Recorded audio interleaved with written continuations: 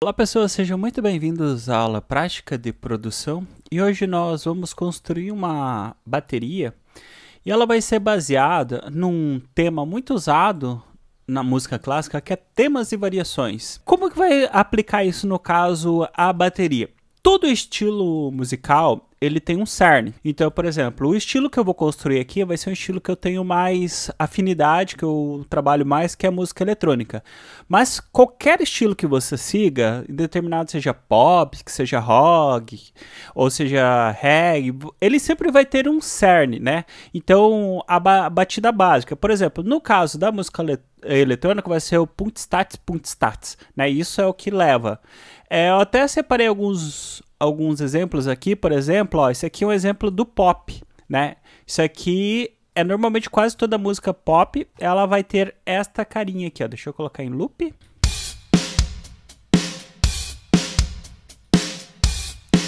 E eu separei aqui, então, basicamente isso aqui é o cerne da música pop, de um dos, dos pops, né? Isso aqui, por exemplo, eu peguei um, como um, o cerne do heavy metal.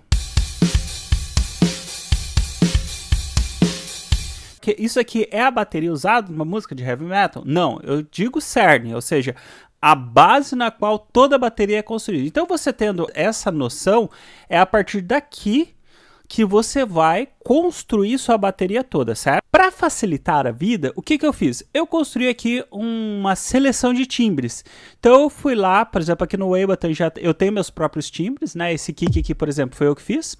É, mas nós temos aqui no Ableton samples e eu fui rolando aqui e vários desses timbres tinham próprio nativo aqui no programa e fui selecionando.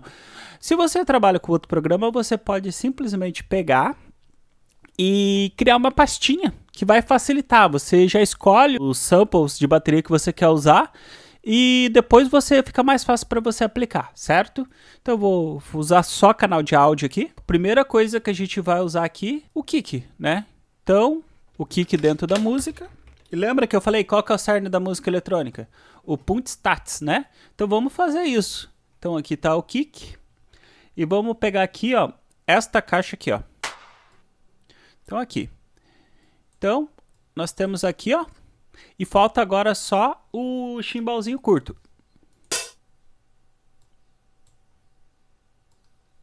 Ó, o que que ele tem que ir no tempo? Ele é o motor. Então, aqui, ó. Normalmente ele vai marcar a música eletrônica. Então, ele sempre vai estar no tempo. O crap ou a caixa, snare, como você chama, ele vai estar tá no segundo e quarto tempo. Isso acontece porque esses tempos eles são fracos, né? São tempos fracos do compasso quaternário. Por isso eles precisam ter um entre aspas reforço, certo? Então a gente coloca aqui. E o chimbal aqui, ele vai nos contratempos, ou seja, eu divido em oito e o chimbal ele vai sempre aqui, ó Bateu o kick, logo depois vem o chimbal.